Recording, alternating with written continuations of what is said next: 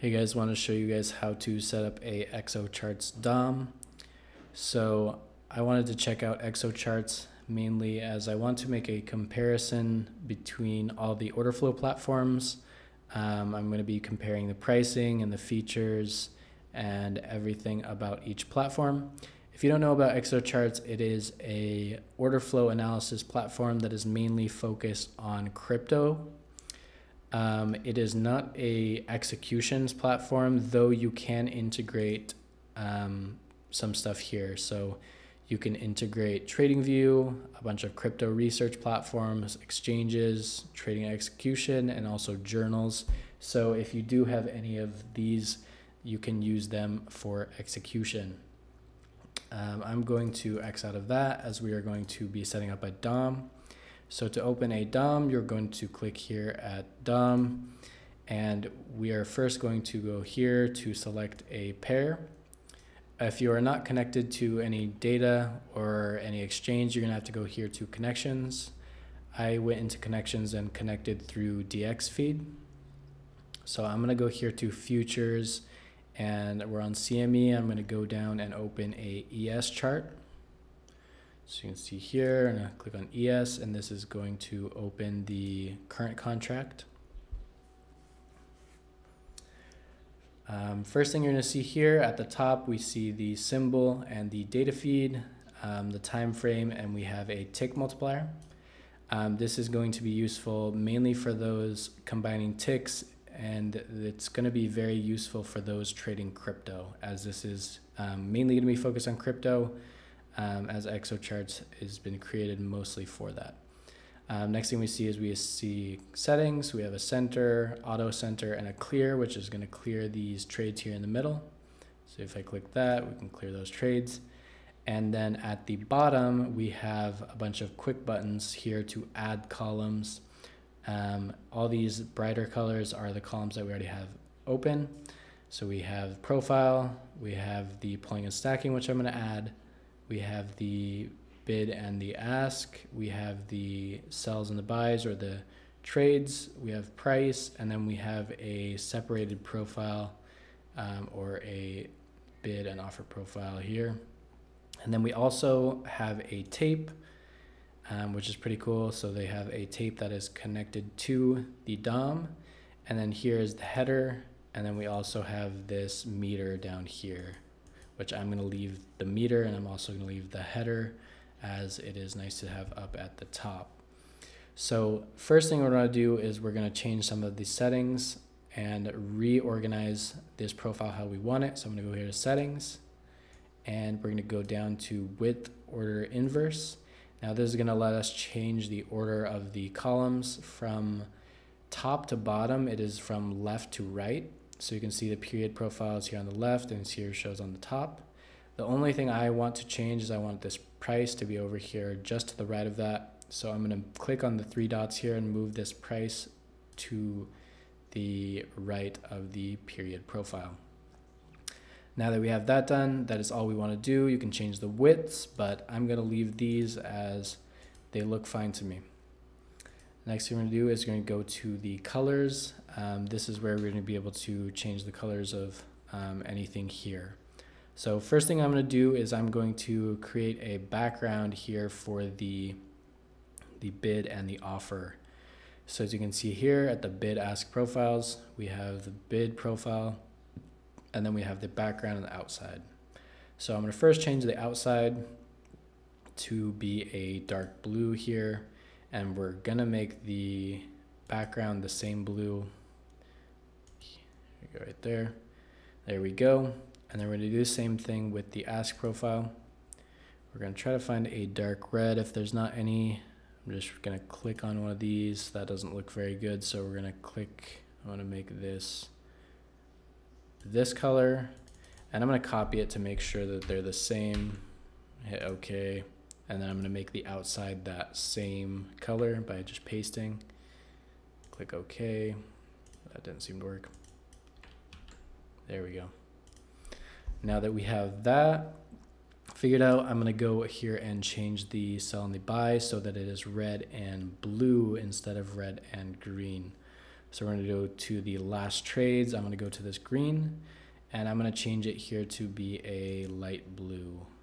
Click OK. There we go. So now we have that set up. Next thing I'm gonna wanna do is I'm gonna change the, the pulling and the stacking columns. So for the stacking, I'm going to put bid stacking as blue and the offer stacking as red and then the um, pulling as gray as that's kind of not supporting that direction. So we have the pulling and stacking up here. So the bid pull, we are going to put that as gray, which already is. For the stacking, I'm going to put it as this. Um, we're going to try this blue right here. I don't like that. We're going to put it as um, this blue to kind of match this background here. Um, next thing we're going to do is we are going to do the same thing here. I'm going to make this a darker red that kind of pops more. I'll choose that red and make it a little bit darker. You go there. And for the coloring, I pretty much like that for the most part. Um, the only thing I want to change is this profile kind of has a candle connected to it. So I'm going to make sure that this candle is a red and a blue candle. So I'm going to change this green to this blue. And same thing here. We're going to change this delta to be a blue color. Now that we have that done, we are going to go and I'm going to change the styling of the tape. So for the tape, um, we have a few things that we can show. We have it show tape. I'm going to also click show time and show price. So this way we have the time and the price.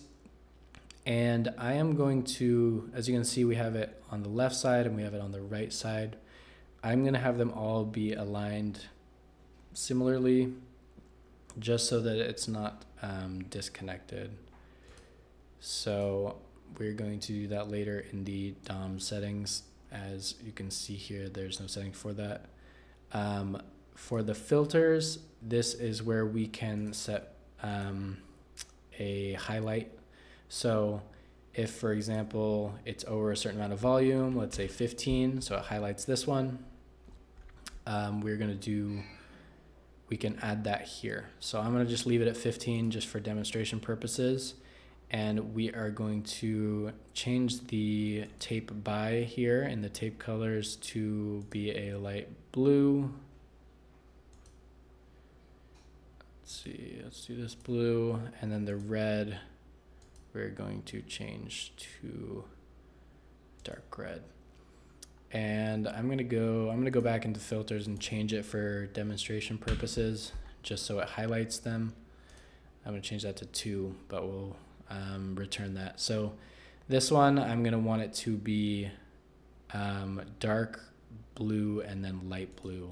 So I'm gonna do light blue here and then a dark blue for the background let's do this one that looks good so there we go. So now we have the highlights whenever we have us over a certain amount of volume.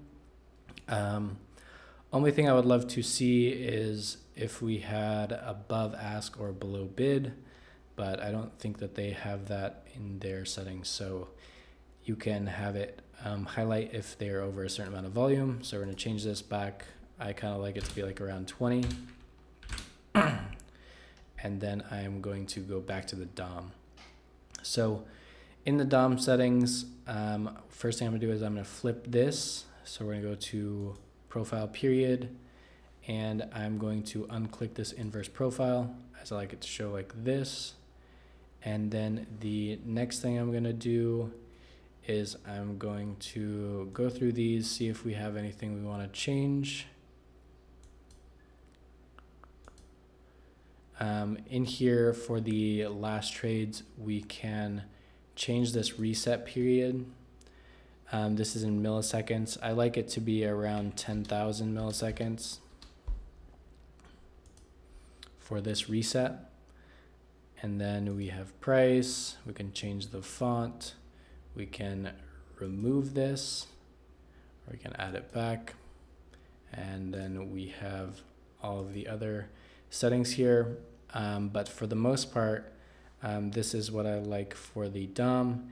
And that's pretty much it for um, setting up the DOM here in Exocharts.